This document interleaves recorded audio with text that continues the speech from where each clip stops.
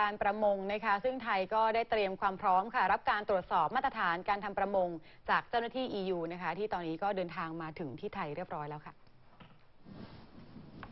โดยการเตรียมความพร้อมนี้นะคะประเทศไทยจะตั้งคณะทำงานร่วมกัน 5 คนค่ะ จากหน่วยงานที่เกี่ยวข้อง ทั้งกรมประมง กรมเจ้าท่ากองทัพเรือ และเจ้าหน้าที่จากศูนย์บัญชาการ แก้ไขปัญหาการทำประมงผิดกฎหมาย หรือสปพมพร่วมกับเจ้าหน้าที่ของสหภาพยุโรปหรือ EU ตรวจการรายงานการเข้าออกของเรือประมงเป็นอันดับแรก รวมทั้งจะติดตามความคืบหน้าการรายงานผลเป็นระยะ